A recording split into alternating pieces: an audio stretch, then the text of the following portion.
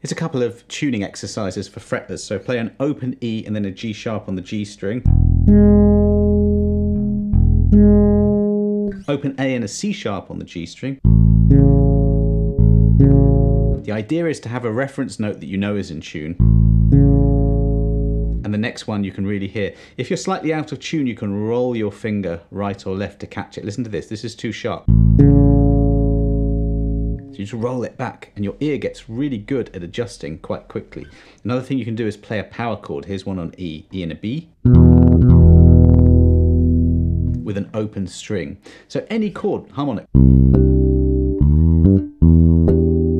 You can really hear when you have other notes going on if it's out of tune or not. Do that every day, your ear will get quicker, your fingers will adjust too.